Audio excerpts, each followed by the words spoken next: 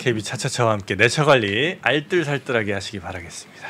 자 그러면 우리 계좌를 알뜰살뜰하게 살펴주실 우리 박현상 차장님 유한타증권에서 오셨습니다. 어서 오십시오. 안녕하세요. 네 부천에서 지금 막 달려오신 우리 유한타 증권의 박현상 차장님. 자 오늘 아, 올랐습니다. 네. 네 누가 주로 올랐습니까? 아, 그동안 안 올랐었던 종목들이 올랐기 때문에 five G입니까? five G 안 올랐습니다. five G는. 그동안 안 올랐던 애 올랐다면서요. 아니, 그러니까 대형주 기준으로. 아 참. 그러니까 five G 조만간 뉴스 나올 것 같아가지고. 어 그래요? 예. 뭐 저기 삼성에서 만났다는 그 뉴스가 있긴 있어요. 근데 뭐 큰 통신사가 아니고 버라이즌 같은 회사가 아니고 네. 미국 4대 통신사 중에 네 번째 회사를 좀 만났다 이런 것도 있긴 있었거든요. 음. 그래서 오늘 아침에 좀 움직이지 않았을까 하긴 했었는데 네. 안 움직이더라고요. 아, 네, 예, 그래서? 뭐 아마 그런 것들이 좀 뉴스화돼서 발현된다면은 네. 움직일 거라고 믿어 의심치 않습니다. 믿어 의심치 예. 않습니다. 예. 자, 오늘 장 한번 살짝 마감 아, 정리해 보도록 하겠습니다. 예, 지수부터 말씀드릴게요. 그 거래소가 25포 26포인트 올라서 3,015포인트에 마감을 했고요. 음. 그리고 코스닥이 7포인트 올라서 990포인트. 그러면은 코- 거래소가 오랜만에 3,000포인트 종가로 안착한 겁니다. 음. 네. 이게 저는 굉장히 좀 의미가 있다라고 생각을 하고요. 네. 코스닥 기준으로도 코스닥도 지금 0.7% 올랐는데요. 음. 코스닥이 조금 있으면 다시 1000포인트거든요. 근데 이게 음. 기본적으로 우리가 마디지수 때라고 얘기를 하지 않습니까? 네네네. 그 마디지수 때를 빠르게 회복하는 거는 시장에서 굉장히 큰 의미를 전달을 합니다. 그래서 음. 오늘 코스피가 이렇게 3천 포인트를 회복했다는 거 아마 여기서 조금만 더 분위기 좋으면은 그 이제 그 저- 코스닥이 1000 포인트를 저기 도달할 것 같고요. 아 이게 이렇게 인사하시니까 저 어떻게 할 말이 없네요. 깜짝 놀랐어요. 그래서 어찌됐든 그랬고요. 그 일단 지금 오늘 좀 시장을 좀 봤을 때 솔직히 아침에는 조금 저희가 좀 이런 말씀 좀 그렇지만 좀 쫄았습니다 아침에 네. 는 이게 왜 그러냐면은 어제 그제 장을 좀 보시면은 어제 옵션 만기랑 그 전에 금융투자가 많이 매수를 했지 않습니까? 네네. 그래서 금융투자가 매수한 이후에 만기 이후에 좀 파는 경우가 꽤 있었는데 음. 오늘 미국장이 좋아서 갭 상승을 해서 15포인트 상승을 하다가 네. 금융투자가 아침에 제 기억으로 한 10시까지 한 600억 이상을 매도를 하는 거예요. 음, 근데 그래요? 9시 한 10분까지 고점을 찍었다가 금융투자 매도를 시작하니까는 줄줄줄줄 밀리는데 음. 코스닥이 그 한 10시 한 조금 넘어서 마이너스가 잠깐 났었습니다. 네. 오, 그러니까는 마이너스가 잠깐 났었을 때 기준으로 봤을 때 2천원 종목도 한 3%씩 빠지고 있었고 음. 어. 그러면은 이제 시장 투자자들 입장에서 봤을 때는 아, 이 지금 어떻게 보면 쌍바닥을 찍고 다시 올라오고 있는데 여기서 또 한번 밀려버리면 또 금요일이기도 하고 그러니까. 적극적인 투자 네. 전략을 펼치기가 조금 어려웠던 시점이었어요. 솔직히 네. 말씀드리면. 근데 아침에 시작을 할 때 다행히 삼성전자 플러스로 시작을 했고요. 음. 오늘 종가 기준으로 하이닉스가 놀라 놀라지 마세요. 지금 몇, 몇 프로 올랐을 것 같으세요? 하이닉스요? 네. 2.5? 제가 다 보고 왔습니다. 예, 전문의 보셨죠? 4.9% 9% 올랐습니다. 하이닉스가 4.9%. 5%면은요 정말로 고무적인 거지 않습니까? 그렇죠. 저도 깜짝 놀랐어요. 그렇죠, 전문님. 예. 오. 98,400원이 됐어요. 네. 어, 9만 원 막 9만 100원 뭐 이랬던 네. 때가 어, 최근 같은데. 저점이 9만 200원인데요. 아, 아, 네네. 9만 예. 원. 그러면은 솔직히 저희가 계속 rock bottom 얘기를 하면서 하이닉스가 네. 음. 9만 한 3, 4천 원은 지지해야 되는데 그거를 갭을 한 번에 깨버려 깨버렸기 때문에 네. 거기서 언제 회복하느냐가 진짜 관건이었는데 음. 어제 좀 올려놨다 오늘 한 번에 회복을 한 거죠. 네. 그러면은 9만 2천 원, 아 9만 200원은 웬만하면 잘 안 오지 않습니까? 네. 빠르게 회복을 했으니까는 음. 그래서 이제 빨리 10만 원을 try를 해서 저희가 8월 달에 winter is coming 나오고 10만 8천 원까지 빨리 회복을 했을 때처럼 하이닉스도 빨리 회복을 했으면 하는 바람이 있는 거고요. 물론 하이닉스 회복한 것 같은 경우는 뭐 이제 어제 마이크론 테크놀로지 3% 이상 급등 나왔고 필라델 반도체 지수도 많이 올랐고 그렇게 해도 그렇다고 치부하기에는 일단은 오늘 상승은 저는 개인적으로는 매우 반갑다라고 좀 말씀을 좀 드리고요. 이 하이닉스 외국인들이 오늘 오랜만에 저희 시장에서 매수를 했어요. 862억 정도만 매수를 했는데 현물 기준으로 음. 8일 동안 팔았고 오늘 네. 9거래일 만에 처음 사는 겁니다. 어. 그러니까 8일 동안 많이 팔았어요 외국인들이 음. 시장이 안 좋을 때 어제도 팔았고요. 그래서 오늘 862억 정도 매수를 한 거고 선물 같은 경우는 조금 다른데요. 선물 같은 경우는 거래소 기준으로 봤을 때 지금 5 지금 5거래일 연속 매수거든요. 선물 같은 네네. 경우는. 그러니까는 어떻게 보면 이게 시장이 어떻게 판단하느냐에 따라서 조금씩은 좀 스탠스를 달리 볼 수도 있을 것 같아요. 아 선물을 5일 연속 외국인이 매수했어요. 매수했습니다. 어. 거래소 같은 경우는 8일 만에 9거래일째 첫 매수가 들어왔지만은 네. 선물 같은 경우는 5거래 연속 매수가 들어왔기 때문에 음. 요거를 좀 어떻게 해석하는지가 저는 좀 관건일 것 같아요. 음. 우리가 한 3주 전이었던가. 그 외국인이 예. 1조 2천억 선물 맞습니다. 때렸을 때 네네. 아 기분이 좀. 싸했잖아요. 예. 그 전문님도 말씀하셨습니다. 예, 그때. 예. 이게 먼저 때려놓고 현물을 팔기 위해서 미리 해지를 해놓고 때리는 건지 그리고 그때만 하더라도 이제 백오데이션이 막 또막 맞습니다. 야기되고 했었는데 오늘도 제가 지금 코스피 200하고 코스피 200 선물하고 보니까요. 네. 그때 backwardation contango 장 끝나고 났을 맞습니다. 때 맞습니다. 맞습니다. 중요하다 했잖아요. 네. 근데 지금 보니까 코스피 200이 393인데 코스피 200 선물은 394.6으로 맞습니다. 또 선물이 위에 올라서 어. 끝났어요. 보통 이렇게 이게 반등 모돌이 반등이라고 네, 생각하면 마지막에, 예. 오늘 같은 날 또 다음 주 빠질 거니까 예. 선물이 또 밑에 예. 빠져서 끝나는 경우가 많은데 어, 외국인들도 5일 연속 매수하고 코스피 200 선물도 코스피 200 현물보다 또 위에서 끝나고 음. 예. 그래서 좀 긍정적인 그렇네요. 흐름이라고 생각을 하고 있고요. 음. 전무님께서 가끔 이렇게 간간히 말씀해 주시는 이게 시장을 보는 팁이잖아요. 네. 네. 제가 그거부터 보고 있거든요. 근데 저희가 솔직히 이제 증권사 직원들은 3시 반 정도에 음. 좀 맥이 풀려 가지고 화장실을 갑니다. 네. 근데 오늘 안 갔거든요. 45분에 갔습니다. 어. 왜냐면은 콘텐츠를 봐야 되니까. 그렇죠. 아 화장실 가는 시간마저. 네, 35분에 45분까지 동시호가 들어가고 네. 35분 사, 그 그때 45분 딱 하면은 선물 지수가 뿅 하고 올라가요. 이게 음. 뿅 하고 내려가면 기분 나쁘고요. 네. 음. 그냥 0.7 포인트 정도 차이가 난 걸로 좀 제가 확인을 했고요. 네. 네. 이게 그래서 이게 저희도 이제 그 그 시간 동안에는 음. 이제 우리 3프로 TV 나와서 어떤 말씀을 드릴까 한참 고민을 하는 시간이거든요. 근데 음. 그 시간에 좀 기분이 좀 더 좋아졌다. 3시 45분에 네. 이것도 오늘 좀 일종의 시장을 보는 키, 보는 키 포인트일 것 같고요. 음. 어, 직원들끼리도 제가 오늘 시장 같은 경우는 매우 긍정적이었기 때문에 좀 시장을 어떻게 보느냐 해서 제가 10명의 직원들한테 설문을 좀 했습니다. 아. 네, 돌아다니면서. 각자 네. 데이터를 좀 예. 돌리셨군요. 그러니까 저희가 어, 저희 같은 직원 15명 정도 있거든요. 음. 외근 당한 직원들 빼놓고 오늘 장 한마디를 이렇게 했는데 네. 오늘 잠깐만. 다섯 명 이상 직원이 네. 아직은 모르겠다였어요. 음. 아. 근데 나머지 두세 명 같은 경우는 다시 시작하는 거 아니냐라는 의견을 좀 내기도 했거든요. 아, 다시 그- 달리는 것 같다. 그 이유는 네. 솔직히 이제 이렇게 얘기를 하면 안 되는데 최근 2거래일 전까지만 하더라도 음. 모든 증권사에서 코스피 10월 밴드를 다 하향을 시켰고요. 음. 음. 그리고 아직까지 풀린 게 없다. 공급망 병목 형상 해결돼야 된다. 그러면서 시장을 굉장히 안 좋게 봤다가 음. 그리고 어제부터 나오는 소리가 뭐냐면은요. 음, 저희 언론상에서 기사 보면은 지금 반등 때 팔아야 된다. 음. 반등을 지금 쫓아가면 안 된다. 아, 이게 이제- 이런 메시지들이 나오거든요. 아, 기회 주는 거다. 기회 이제 매도할 기회를 주는 네. 거다. 근데 이제 막상 거기서 저 단선을 잃었습니다. 음. 어떤 종목을 매도해야 되는가? 음흠. 그리고 내 포트에 현금 비중이 얼만큼 있는가? 네. 이런 부분이 충분히 스터디가 된 이후에 그 다음에 매매를 들어가야 되는데 음. 솔직히 현금 비중 30% 있으신 분들은 지금 매도 안 해도 되거든요. 네. 음. 근데 네. 처음 투, 처음 그 시장을 맞이하시는 음. 그리고 이제 작년부터 시작한 우리 주식 투자자분들은 최근 같은 하락이 딱 두 번 있었습니다. 올해 네. 올해 기준으로. 음. 그러니까 이게 드디어 드디어 끝난 거 아니라면서 이제 저한테도 매도 지금 해야 되냐고 많이 물어보시더라고요. 아하. 저한테도 엄청 물어보셨어요. 저분이. 그러니까 이게 아니 솔직히 이게 예전 같으면 이거 안 물어보시거든요. 네. 뭐 살까 그러시는데 음. 요즘은 팔고 나갈 겁니다 지금. 네. 그래서 어쨌든 그 직원들도 좀 반은 반신반의하고 어떤 얘기가 어떤 얘기냐면 너 어, 저 모든 사람들이 다 비중 축소를 외칠 때 오히려 저희는 이럴 때 V자 반등이 나온 걸 경험한 적이 꽤 있었거든요. 아. 오히려 아, 그래요. 악재 같은 경우는 한 번에 좀 하락을 했고요. 음. 그리고 우리가 알고 있는 악재가 네 가지 뭐 공급망 병목 현상, 인플레이션, 뭐 원자재가 급등 여러 가지 부분이 여태까지 경험적으로는 하나씩 풀려가면서 계단식 상승을 하게 되는 게 여태까지 경험이었는데 음.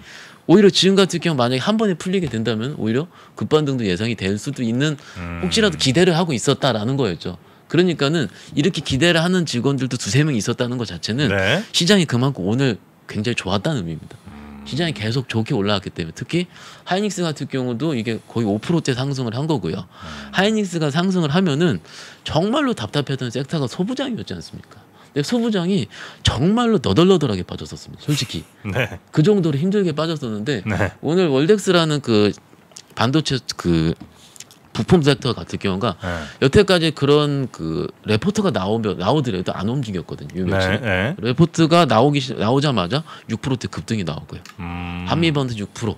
그러니까 GST 5%. 네. 웬만한 우리가 알고 있었던 그래도 내년에 실적이 좋아지는 부품이라는 소재 장비 섹터의 종목들이 오늘은 제대로 배- 작동을 하면서 움직이더라고요. 음. 그러니까는 저는 이제 솔직히 이제 뭐 저는 오르면 굉장히 좋습니다. 솔직히 항상 그렇게 생각을 하는데 네. 오늘은 좀 기분 좋게 이렇게 얘기를 했었고요. 그리고 이제 지금 좀 약간의 매매 차원에서 좀 특징이 뭐냐면 제 개인적으로 봤을 때는 아예 진짜로 잘 가는 주식이 있어요. 뭐 주식이 예를 펄어비스 같은 주식 엄청 잘 가잖아요. 아, 작아요 지금. 예. 근데 그런 주식들이 잘 가고 네. 게임주 중에서 잘 가고 있고 음. 뭐 그런데 아니면 중간 단위에 있는 종목들이 좀 있거든요. 음. 중간 단 올라가다 많은 종목들. 근데 여태까지 경험적으로 봤을 때 중간 단에 있는 종목들을 매매했을 때 지금 장이 만약에 다음 주에 좀 횡보해 버리면은 네. 그 종목들이 많이 밀립니다. 음.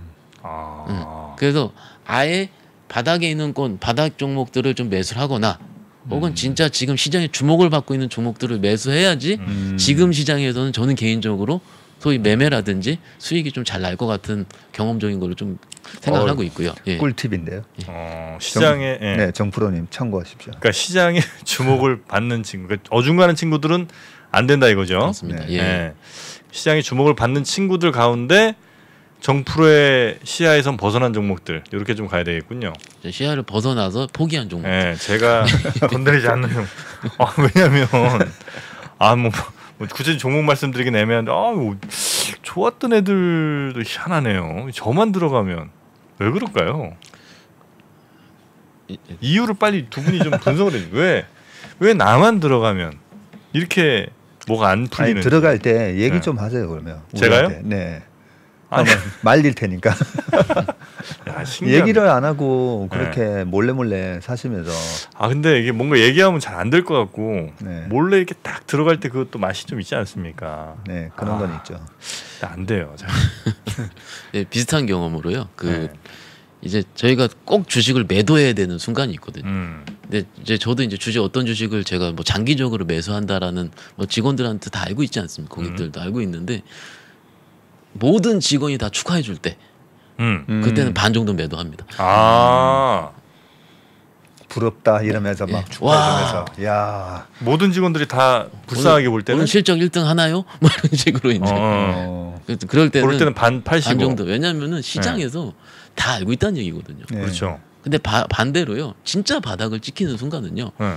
음, 정말로 많은 금액을 투자했던 투자자가 음. 손절을 칠 때, 음. 특히 신용으로 음. 그때는 거의 거의 진짜로 대바닥이 나오는 지난주에 신용이 맞습니다, 2조 정도 털렸었잖아요, 그죠? 네, 신용 정보를 좀 말씀드리자면요. 네. 9월 28일 기준으로 음. 코스피 코스닥 합쳐서 25조 400억 정도 됐었거든요. 네.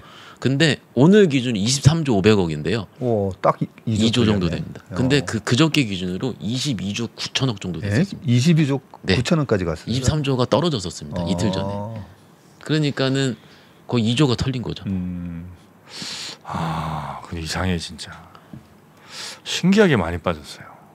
이번에 아니 그 저만 저는 어, 그러니까 보통들 빠지는 수준보다 훨씬 더 많이 빠졌어요. 뭐뭐 바이오 같은 것도 한 제가 뭐 말씀드렸으면 60% 50몇 프로 이렇게 빠지기는 쉽지 않잖아요. 아니- 쉽지 않은데 진짜. 네. 네. 큰뭐 1년도 채 안 됐는데 지수는 뭐 1년 전이나 지금 비슷하거나 아니면 약간 더 오히려 높은 것 같은데 이렇게 갈 수는 없거든요. 음, 그 아마 바이오 쪽이 좀 있을 거 있으실 것 같고요. 바이오 그렇고 뭐 5G 그렇고. 제가 지금 의심이 드는 거는 네. 그 우리가 매매를 잘못해서 네. 투자에 실패하는 경우가 많아요. 왜냐하면 이 자리에 앉으셔가지고 네. 지금 3년 동안 얼마나 훌륭한 패널들의 얘기를 들었잖아요. 맞아요. 근데 나는 왜 이럴까? 왜 이렇게 손실이 날까? 응. 제가 의심이 드는 거는 네. 맞는지는 모르겠지만 보통 이제 밑에다가 매수가에 이제 걸어놓는 버릇으로 매수를 하시다 보면 음. 제가 저번에도 작년에 나와서 말씀- 한번 네. 말씀드렸는데 올라가는 종목은 절대 안 잡혀요. 부동산 사러 가셔가지고 네. 11억 호가에 나왔는데 가서 저 10억 5천 되면 연락 주세요.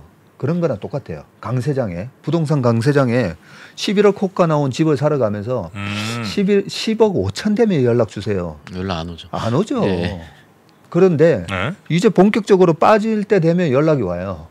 어우 팔려고 하는 사람들이 생기면서 그래서 저는 뭐 5G가 됐든 바이오가 됐든 음. 올라갈 때는 계속 밑에다가 걸어놓는 매매 때문에 못 사다가 딱 꺾어질 때 체결이 딱 되잖아요. 네. 그러면 마이너스 50% 60% 나죠 바이오는 쫙 쳐- 떨어지는 첫 하락에 주식을 사게 되니까 아, 이게 정확하게 맞는 건 아니지만 대충 또 맞는 게 뭐냐면 네. 예를 들어 3만 5천 원이에요. 네.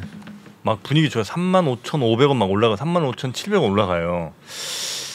근데 3만 한 그런 가격을 제가 딱 보면 아침에 이제 막 방송 끝나고 막 이제 후다닥 사지 않겠습니까? 네네. 저는 3만 5천 7백원까지 가, 가는 걸 보면 저는 그 가격에 못 사겠어요. 음. 3만 5천 한 200원 요 가격에 걸어 놓습니다. 그리고 이제 딴 방송 열심히 또 하다가 딱 열어보면 돼 있어요. 축하 음. 체결. 네. 그래서 아 역시 35,700원에 안 사길 난 너무 잘했어. 네. 막 이렇게 더 마음을 네. 기쁘게 먹으면서 이제 다음 날부터 쭉 보면 그때부터 이제 또 쭉쭉 빠지더라고요. 네. 네. 그래서 항상 올라가는 장에는 못 사지다가 네. 떨어지던 첫 하락 일파에 주식이 사지는 거거든요. 음. 그래서 항상 시장가로 매매하는 버릇을 할 필요가 있어요. 오히려 그렇습니까? 네, 네. 자 여러분들 도움 되시라고 드리는 말씀입니다. 뭐 정프로가 그렇게까지 못 하겠습니까? 네, 다 여러분들 좀 도움 네. 되셨으면 좋겠습니다. 자, 예. 그렇게 오늘 또 특징 네. 섹터들 뭐 있었습니까? 예, 특징 섹터를 빨리 말씀을 드릴게요. 아까 소부장을 말씀드렸는데요. 최근에 원전 섹터가 굉장히 강합니다. 음, 그래서 원전 섹터가 저번 수요일 날 같은 경우에 프랑스에서 SMR이라 그래서 소형 모듈 원전 활성화하겠다라는 음. 소식 때문에 몰랐고 음, 오늘 같은 경우는 굉장히 강했어요. 음. 원전 섹터 강했고 두 번째 같은 경우는 그 원전이 우리가 강했던 이유 같은 경우는 최근에 에너지 에너지 난, 난 때문에 충분히 탄소가 나오지 않는 원자력으로 쏠릴 수 있을 것이다라고 충분히 그럴싸했고요. 음. 음. 저는 개인적으로 두 번째로 생각한 거는 물류 대란인데 왜 물류가 현재 안 오르지라고 생각을 했었거든요. 음. 근데 그게 오늘 움직이더라고요. 어. 그러니까 이게 어떻게 보면 이게 치- 움직였던 근데 물론 현대 글로비스는 안 움직였습니다. 음. 대형주 때는 안 움직였고 뭐 동방이라든지 작은 종목들만 움직이긴 했는데 지금 시장이 어느 정도 활성화가 되고 그럴싸한 뭔가의 테마성일 겁니다. 아마도 그- 그렇지만은 네. 물류관주들 실적 열어보면 지금 굉장히 다 좋거든요. 네. 당연히 좋을 거죠. 실적 음. 엄청 좋죠. 예, 뭐. 당연히 좋을 거기 때문에 그 어떻게 보면 갑작스럽게 올라가지고 아 이게 테마성으로 급등했다라고 음. 지금 생각할 수 있지만은 네. 나중에 봤을 때는 아 이게 진짜 실적 이슈였구나라고 뒤돌아서 볼 수도 있을 거라고 생각을 하기 때문에 음. 오늘은 원전 섹터 물류 물류 관련주들이 많이 올랐고요. 그리고 이제 오늘 이제 그 사회적 거리두기 개편안이 또 발표가 됐잖아요. 음. 발표가 되고 이제 그 3단계, 4단계는 2주 연장을 하기로 했지만은 뭐 이제 그 8명까지 연장하기라는 거라든지 음. 그것 때문에 당연히 reopening 섹터가 충분히 있을 수가 있는데 음. 일단 오늘 그 중에서 의류 관련 섹터들이 굉장히 잘 올랐습니다. 근데 이거 말을 좀 갖다 붙일 수도 있다고 생각할 수 있는데 막상 의료 관련주들이 움직이는 이유는 미국 경기 회복인데 네. 그러더라도 오늘 그런 빌미삼아 움직였다 보시면 될 것 같고요. 오늘 한센시럽이 굉장히 강하게 올랐거든요. 음. 근데 최근에 그 의료 관련 섹터 중에 진짜 강한 섹터는 전문님께서 저번에 말씀하신 FNF예요. 네, 근데 그렇죠. 오늘 FNF가 제 기억으로 증권사 두 군데가 세 군데에서 공동으로 목표가 상향이 나왔습니다. 어. 아. 나왔는데 오늘 빠졌어요. 아 그래? 어, 네. 오늘은 빠지고. 오늘 빠졌고 네. 대신에 어제 모 증권사에서 한센시럽이 목표가 상향이 나왔는데 어제는 빠졌는데 오늘 갑자기 6% 크게 오르더라고요. 음. 이게 지금 오늘 시장의 특징을 좀 가늠할 수 있을 것 같은데 오늘 2차 전지 빠졌고요. 네. 자동차 빠졌고요. 음. FNF 빠졌고요. 음. 공통점이 뭐냐면 최근에 강했던 섹터입니다. 그렇네요. 보니까. 예. 강했던 섹터가 빠졌고 오늘 하이닉스도 반등이 잘 나와서 좋았긴 했지만은 음. NC소프트도 4%대 반등이 나왔거든요. 어. 그러면 하이닉스랑 NC소프트 차트 보면 거의 비슷합니다. 쭉 네. 빠진 거예요.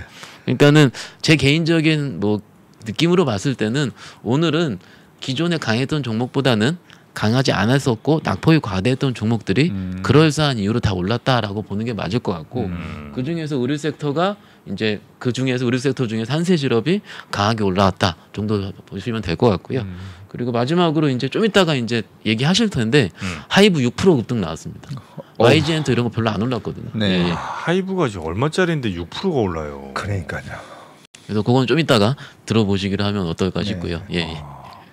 뭐 온라인 콘서트도 있고 오프라인 그다음에 콘서트. 오프라인 예. 콘서트도 뭐 11월 12일, 28일부터 예, 예. 12월 1일까지 또 물론 이제 있고. 증권사에서 보고서 나오긴 나왔어요. 네. 그 3분기 실적도 예상치지만은 4분기에서 surprise라는 보고서예요. 음. 그러니까 이제 3분기도 어차피 우리가 알고 있었거든요. 저 엔터주가 빠진 이유가 3분기 좋은 건 알지만은 중국에서 규제라든지 어, 이런 것 네. 때문에 미리 뭇매를 맞은 거고요. 좀 있으면 엔터주를 다 실적 발표할 건데 아마 earning surprise 나올 겁니다. 음. 아, 그래요? 예, 잘 나올 겁니다. 아마 이따가 얘기하실 거예요, 아마. 네. 예. 아, 알겠습니다. 자, 그리고 혹시 뭐 도움 말씀 주실 거 있으면 짧게 어, 하나 네. 좀 들어볼까요? 마지막 빨리 말씀을 네. 드릴게요. 그 NH투자증권에서 나온 미리 보는 주간 투자 전략이라 그래서 저희 다음 주 좀 그 코스피 주간 밴드를 예상을 했는데요.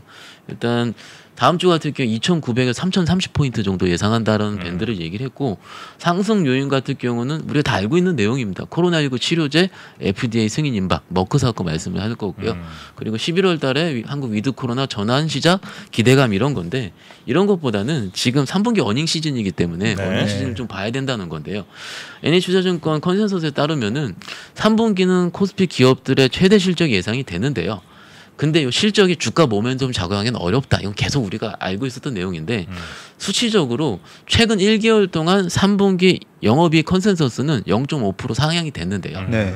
4분기랑 내년 1분기 consensus가 거의 0.에서 1.4% 하향이 됐던 겁니다. 그렇죠. 예. 네. 그렇기 때문에 실적 피컷 전망 같은 경우는 우리가 적정성을 대한 우려를 자아내는 요인이 될 수 있다라는 부분인데 여기서 이제 시, 시장이 두 개의 파고를 넘어야 되는데 음흠. 첫 번째 파고 같은 경우는 그냥 한마디로 얘기합니다. 테이퍼링이 현실화돼야 된다. 음. 솔직히 이게 매전 매는 빨리 맞자 이거죠. 네. 네, 네. 두 번째 같은 경우는 약간은 철학적인 내용이 될 수가 있는데 어, 인플레이션이 비용 요인들이 제거됨에 따라서 여- 실제 인플레이션이 연준의 조기 긴축을 필요로 하는 수준인지를 확인해야 된다. 이건 음. 우리가 추후 확인해야 될 내용이고요. 이 두 가지가 확인이 되면은 시장은 강하게 올라갈 수가 있는데 아직은 바- 반등을 모색하기 좀 어렵기 때문에 음흠. 현재로서는 코스피는 박스권을 지속할 전망을 유지한다라는 부분이에요. 아. 네. 예, 그러니까 우리 같은 경우가 이런 전망을 보는 이유도 네. 이렇게 이제 박스권이든 어떤 식으로 예상을 하면은 음. 내가 매매하는데 어느 정도가 이제 예측이 할 수가 있으니까는 음. 아 너무 급하다 그러면 좀 줄일 수도 있는 거고요. 음. 그리고 이제 다음 주 실적 발표 예정 기업들이 있는데요. 네이버가 10월 21일 목요일 날 있고요. 금요일 같은 경우가 현대모비스, 하나금융지주, 롯데케미칼, 음. 현대제철, 호텔신라 정도 있기 때문에 요거는 저희 그 레포트들 보시면은 음. 항상 저 주 초에 그 쫙 캘린더로 정리가 되는 경우가 많이 있거든요. 음. 그래서 적어도 그건 출력하셔가지고 여기 딱 붙여놔야 되지 않습니까? 네, 붙여놓고 네, 네. 내가 가진 기업은 체크 이런 식으로 하신다면은 지금 시즌이 시작이 되고 있기 때문에 꼭 살펴볼 필요, 필요가 있어서 말씀을 드리고 있습니다. 네. 오늘 아마 이제 잠시 후에 안진아 연구원이 오실 텐데 어, 제가 실패했던 패턴 하나를 좀 말씀드리면 아마 그걸 좀 안 하실 가능성이 좀 피할 수 있잖아요. 네. 그 패턴 하나 좀 알려드리겠습니다. 자, 뭐 분야의 업종의 뭐 애널리스트 분이 나오십니다. 그래서 네. 이런 좋은 얘기를 이제 해주세요. 음. 혹하죠. 네. 그러나 정풀은 안 삽니다. 한번 의심을 해요. 네. 이거 아직 아직 아닌 것 같은데. 음. 그러다가 한 이제 한두 달 있다 다시 한번 그분이 나오십니다. 네. 그분 얘기대로 됐어요. 음. 그분이 다시 좋다고 합니다. 네. 그렇죠. 그때 이제 들어갑니다. 어, 이, 이 방송을 나가면서 쭉 보고 이제 아 이게 맞긴 맞구나 하고 이제 그때 들어가면 그때부터 안 좋아지는 경우들이 종종 있었으니까 여러분은 그렇게는 하지 마시기 바라겠습니다. 네, 항상 여러분 먼저 공부하시고 아, 종목에 대한 확신 어느 정도 아, 데이터 좀 보시고 그렇게 꼭 매매하는 습관을 가지셨으면 좋겠습니다. 정프로님 그 3% 상담소 안, 보, 안 보시죠? 제가요? 좀 보세요. 거기 그런 케이스가 많습니까? 아니요. 3% 상담소에 윤대현 교수님. 아, 계시죠? 네네네 네. 윤대현 교수님이 하신 얘기가 있어요. 공감은 빨리. 하지만 신뢰는 천천히. 그 명언이 거꾸로 하신 거예요. 처음에 딱 얘기 들었을 때 차라리 그때 샀으면 예, 되는데. 공감은 빨리 해서 사고 예. 대신에 이제 종목을 공부를 해봐야 되죠. 음. 해보다가 아 아닌 것 같은데 기대치가 너무 높은 것 같은데 그러면서 이제 두 번째 세 번째 나왔을 때 팔고 나와야 되는데 예. 공감은 너무 늦게 뒤늦게 그렇게 웃지 마십시오. 아 지금 지금 마이너스 몇 프로인데 지금 이렇게 우- 웃음이 나오십니까 지금? 네. 자 우리 박현상 차장님 아, 금요일 저녁 또 함께 저희와 해주셔서 너무나 감사하고요. 다음 주에 뵙겠습니다. 고맙습니다. 감사합니다. 네. 공부 한번 제대로 해보실까요? 딱 한 달 업종 기초 교육과 매매의 기술을 한 번에 배울 수 있는 올인원 패키지. 업종 분석으로 기초를 다지고 매매의 기술로 투자의 날개를 달아보세요. 자세한 내용은 페이지 2 공지 사항을 확인하세요.